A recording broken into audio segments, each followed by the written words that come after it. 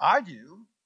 You know, the real test is this you can dream you have uh, a new car, but when you wake up, uh, maybe you don't have a new car. There's nothing there. You can dream you won money, and when you wake up, it's there's not always extra money for you.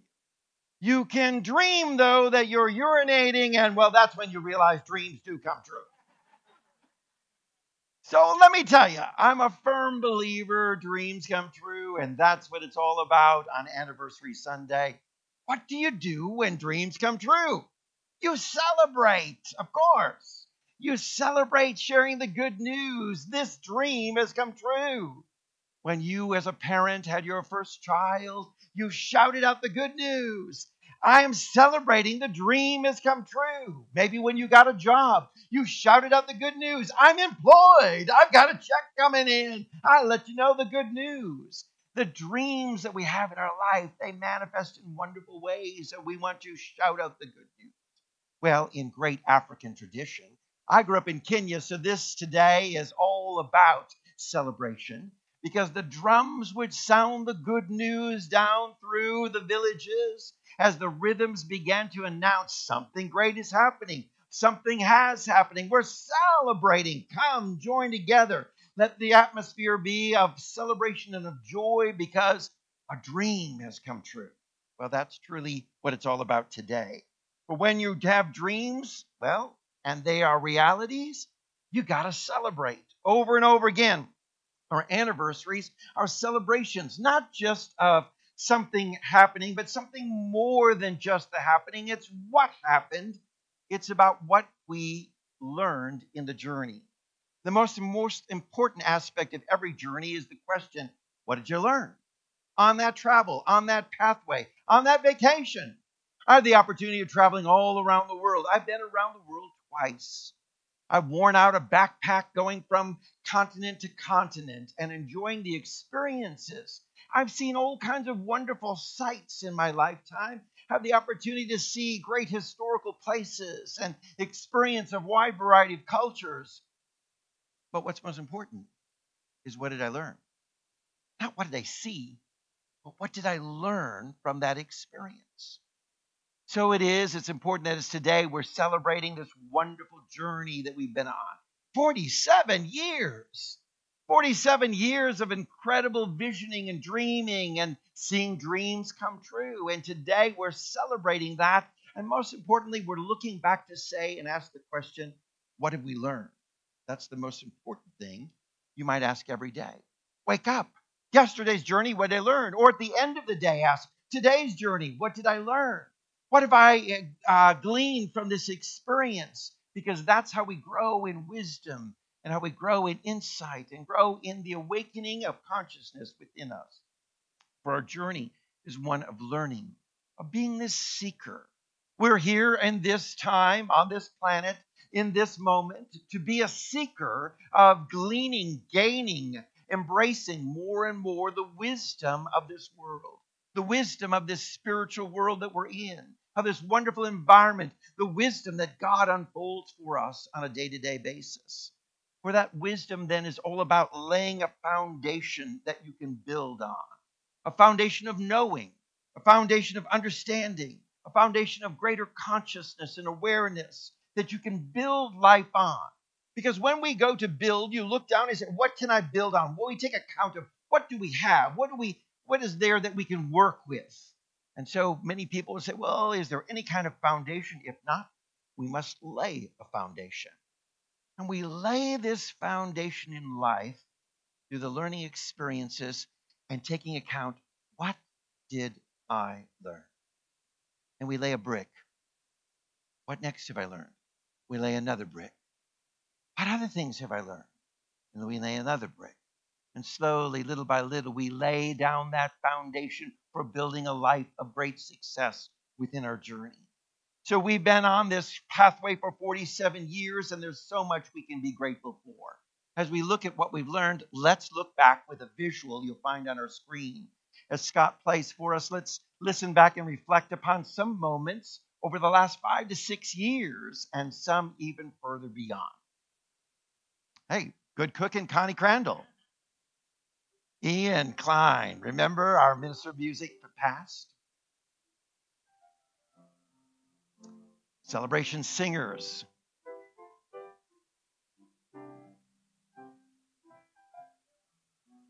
How about a progressive dinner a couple years ago? Good fellowship and good friends.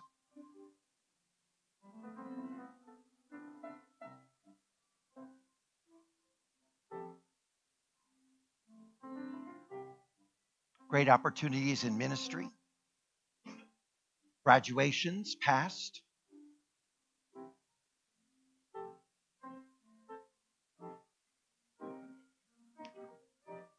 We're not going to mention the outfits. So, yesterday, awards given out and honors, welcoming new staff, Scott Dunn, celebrating anniversaries of accomplishments, a retirement of 25 years, I celebrated classes here at the Emerson Theological Institute. Great moments.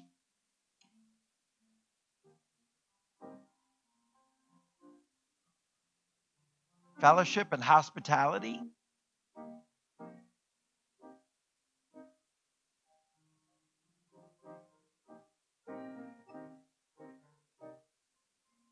Compassionate work. Giving out clothing, sharing food creating meals for the hungry and the homeless down through the years.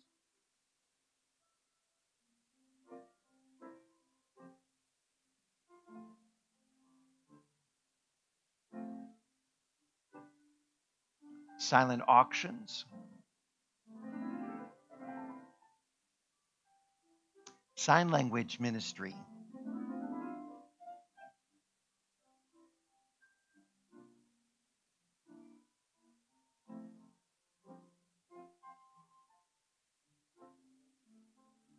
Appreciating all the talents of so many.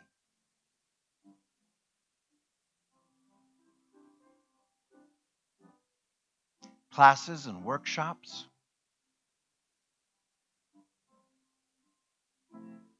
Celebration moments.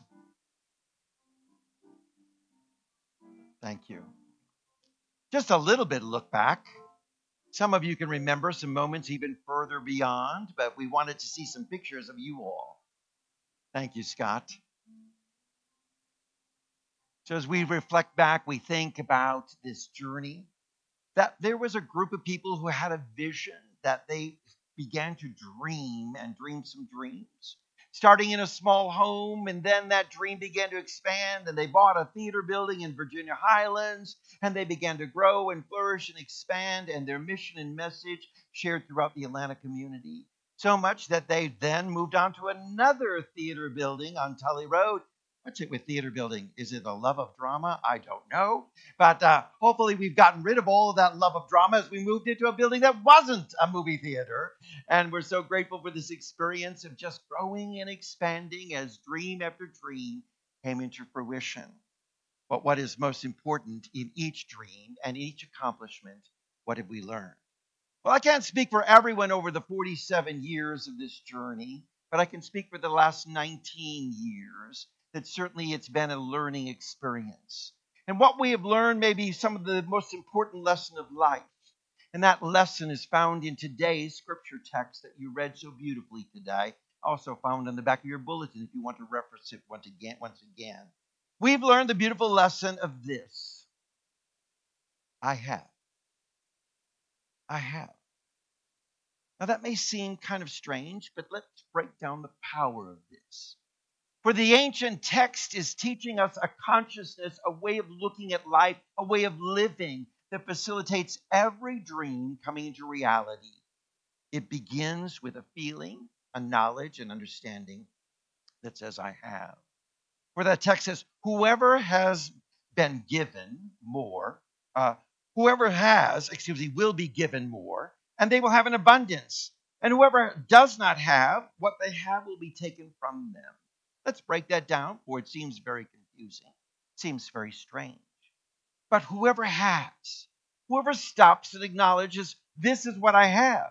Whoever begins every day with the I have consciousness begins to be the dream builder. It's the one who says, I have, and I look about and I, with great gratitude and appreciation, take account of the I have and embrace this consciousness. Far too many in our world wake up in the morning with the I don't have kind of attitude. I don't have any strength. I don't have any energy. I don't have any money. I don't have any this. I don't have any that. I have no love. I have no this. I, I we could list all the things.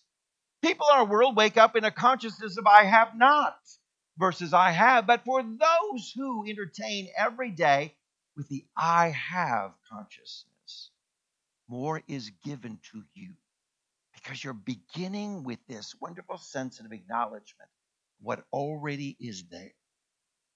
From there, it is takes on to say there is a spirit of abundance that unfolds for you. Because when you start taking an account of all you have, and how many remember these old Thanksgiving songs of count your many blessings, name them one by one.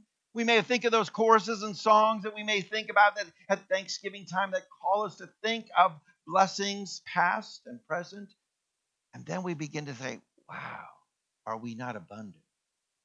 And so then abundance rise within our spirit because I have, I really feel abundant. And I feel that I already am living in this realm of great blessing and prosperity. Goodness is all around me, in me, through me, and for me. I feel this all around. It's a consciousness that wakens so many possibilities when you begin to say, I have.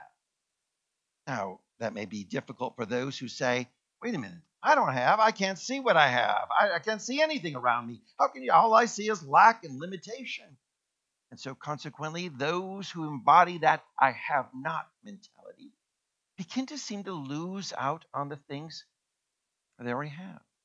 Waking up and say, In my marriage, I don't have love, begins the gateway for their divorce, and they lose their marriage. For those, you know, and I don't have any money, I really don't have anything. So begins to create the mentality of lack and limitation that quite often they lose the little that they do have. And they become less and less in the abundance or prosperity consciousness.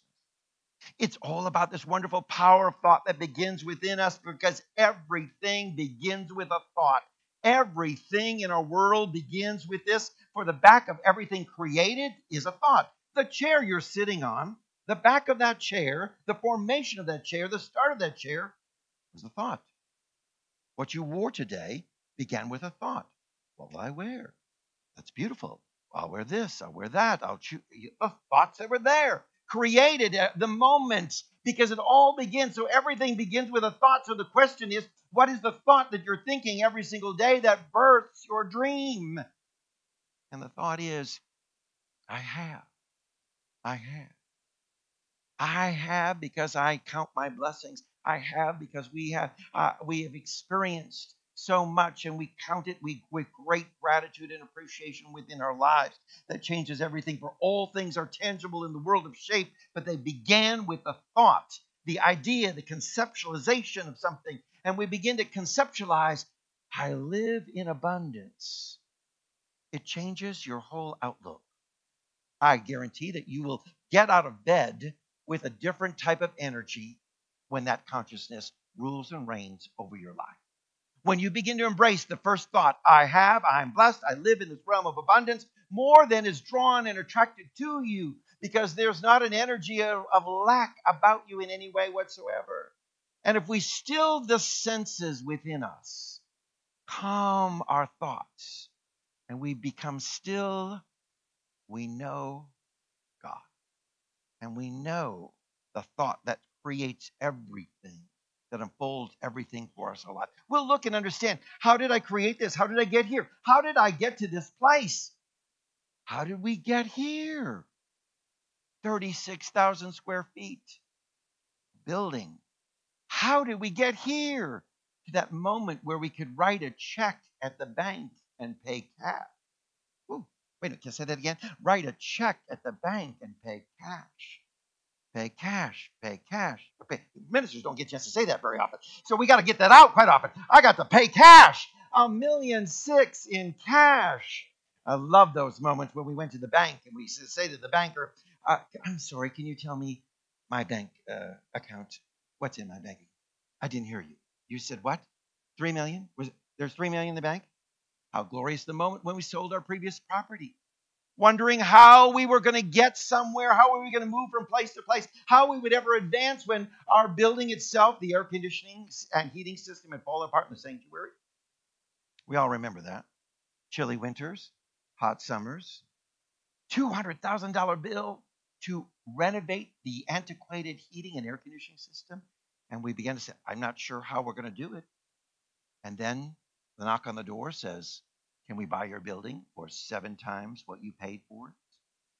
To go from wondering how we were going to find 200,000 to now depositing 3 million in a bank account sounds like a pretty good day, doesn't it? It works pretty good for me. I'd like to have a few more of those. It all comes this consciousness. How did we get there? Well, we woke up with the feeling that says, I have. And for every challenge that came our way, every problem that came our way, every obstacle that came our way, we didn't give up. We didn't abandon. We didn't say, we quit. This is no way possible. Let's just shut this place down. We began to move in a consciousness that says, God is making a way when there seems to be no way because we live in the realm of I have. And I got to tell you this in the 19 years I've served here, I can't tell you how many treasurers, God love them, would tell me from the accounting approach, you have not. You do not have. I can remember the first uh, six months. A wonderful, gifted accountant, treasurer that served on our board of directors told me, This place will fold in six months. You just don't have the funds. It's not possible. And he looked at me like, You're just insane for thinking of going forward and taking this congregation and thinking it's going to go somewhere because we are this close to closing our doors. And when we have the I have not, yes, he became so frustrated and abandoned the whole program and resigned from the world as treasurer and left the church because all he could think of is this place doesn't have. Where the rest of us just went on all day thinking we have, and we kept on moving is it ignorance? Is it a stupidity? Is it naivete? Is it a sense of like we got our head stuck in the sand? Or is it a belief that we know that all things work together for good? And that's what the, we wake up in a consciousness of saying, I have in the divine realm, in the spiritual realm. Now, I may not possess it in the tangible in my hand today, but I know that I have, for all that the Father has is mine. Beautiful passage. Jesus shared it and invites you to embrace that very phrase too.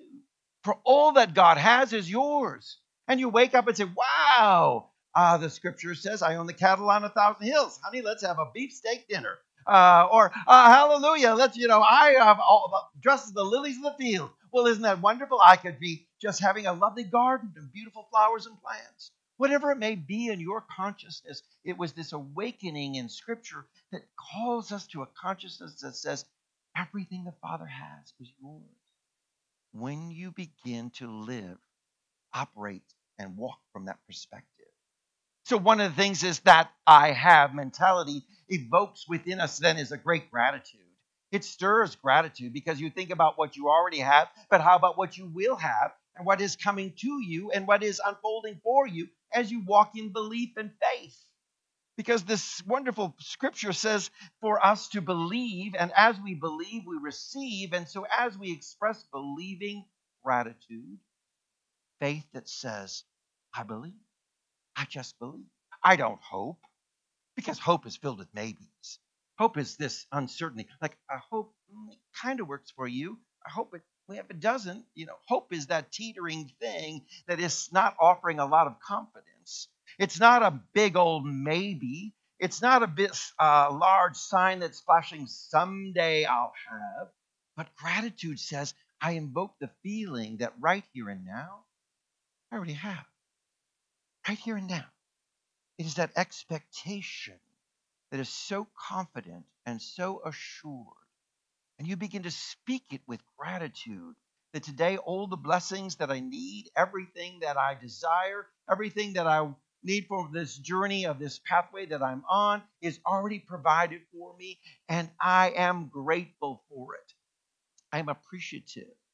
I think this is the foundation of, that has brought us to this place is this consciousness filled with a great gratitude for every moment, everything that we've experienced. We were just so grateful for it and appreciative that we were appreciative for the next moment well in advance. We know we're grateful for what's coming ahead around the corner. What is the next day? What's the next thing unfolded for us? Because when we understand this, I have consciousness, and we understand the power of gratitude being released within our lives. I have this past week been in dialogue with the Metropolitan Community Church of Grand Rapids, Michigan, and some of their leaders trying to offer some advice. They said we took account of everything. We took an inventory and said, we lack this, we don't have that, we can't afford, we have no possibilities here. The challenges are so great. And so we decided to close. And so we're closing down our ministry. And it was shocking to say, You have a body of 40 people and you're closing? What? Why would you close? Well, because we just can't. We, it's not possible. We lack. We're limited. The challenge is great. And what happened for those then, they lived out that passage of truth in its great reality. For those who believe in lack will have less. Those who believe they don't have, it will slip even more out of their fingertips. Those who walk in this consciousness of saying, all I can see are the obstacles and limitations to my life, will never excel and move beyond. So they voted to close their doors. They voted to quit. They voted to give up a ministry that had been touching lives. But what happened is they lost the gratitude and appreciation. They lost the consciousness. They didn't wake each day with a sense of I have and what possibilities would unfold through that. Because when you go to build, no builder starts with, let's talk a, make a list of things that we don't have. The builder says, wait a minute, wait a minute, do we have land? Oh, check, we got land. Okay. Uh, do we have some supplies? Check, we got supplies. Okay, do we have labor? Check, we've got labor. Okay, do we have some funding? Yeah, oh, check, We've got funding. We start looking for all the things that we have, and you start building from there. And every day, to build your dream, it begins with this checklist of, I have. And I have it so much that I'm living in gratitude. It's advanced appreciation, shall we say, not postponed appreciation. It's not expressed after the fact, but before the fact that ushers in the energy for dreams to be manifested and come true within our lives. The point of being is that everything begins in mind, and everything on the outside is mere the reflection of what's already in your thoughts in your mind. It will mirror it. It will mirror it. It will just reflect it out into the world. So what's going on within you is going to be reflected on outside of you. You feel like you're in poverty, you're poor, you're suffering, you can't. It will be reflected on the outside of you. When you awaken to this consciousness of I have, it will be reflected on the outside of you because you'll now be walking in this full awareness. You'll be walking in the understanding that blessings are coming to you. It's not magic. It's not magic.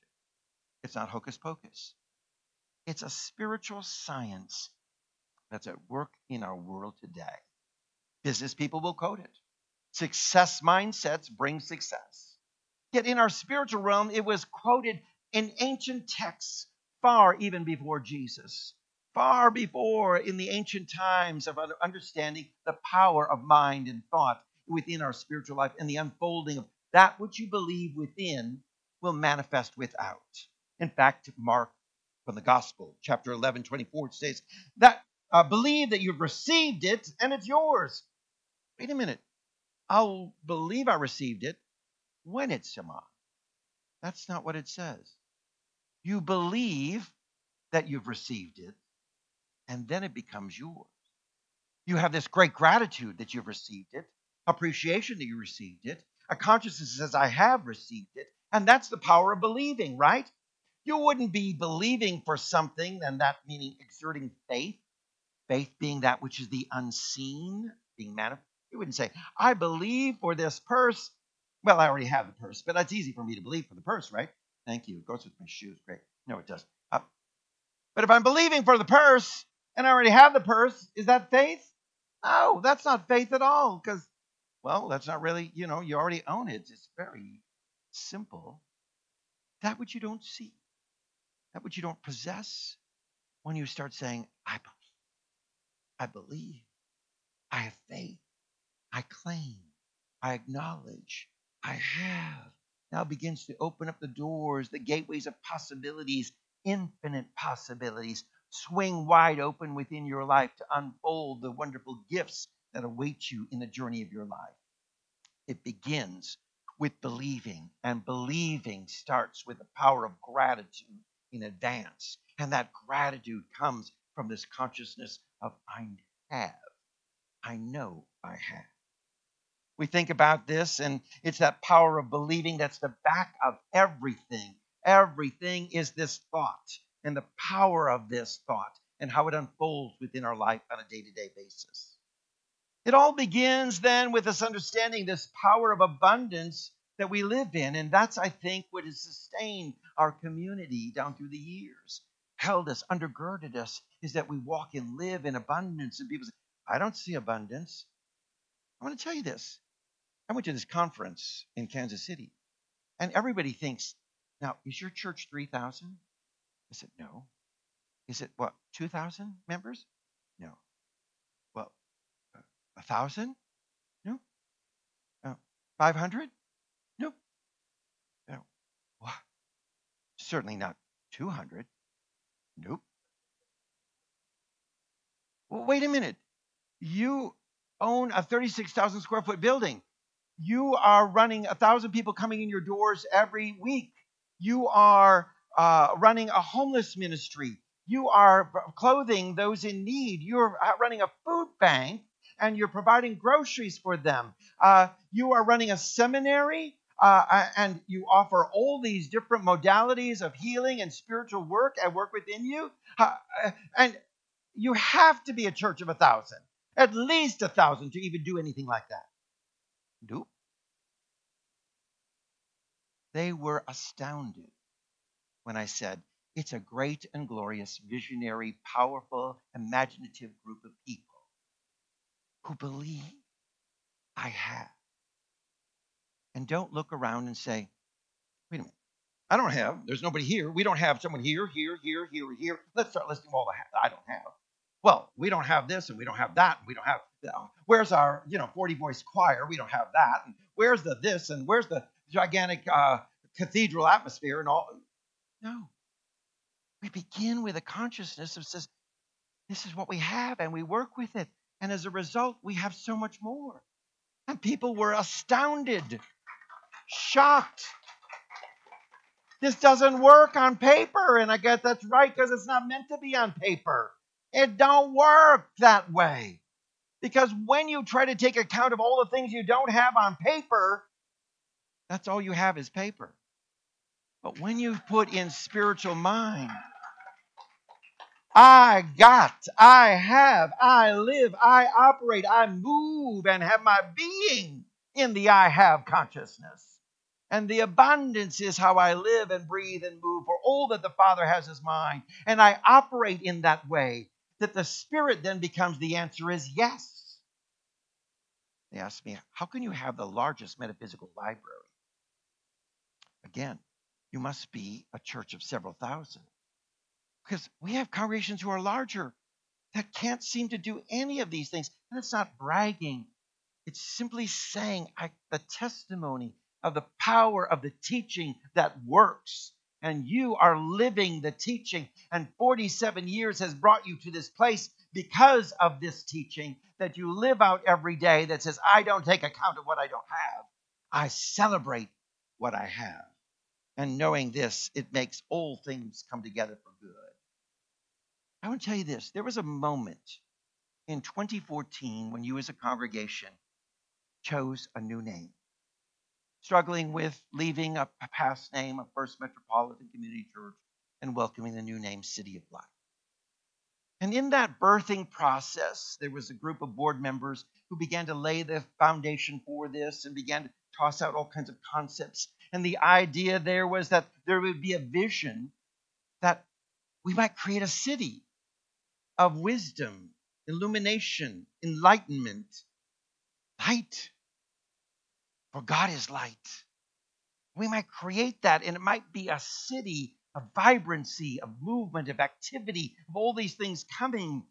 And that happened in 2014 before we bought the building or even knew that we could afford a building or even knew that this building was available or that we might be able to create something. But what we did first was name it. Name it.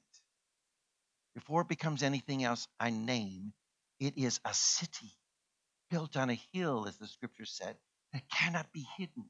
It is a city of light, light that brings glory unto God, that brings awakening and awareness. That's what we've named it to be. And as we named it in that consciousness, it began to unfold. And then, as you say, well, if you're calling yourself the city, well, honey, you need a bigger building to be a city, don't you? And so what is what happened is Spirit led us to buy a building twice the size.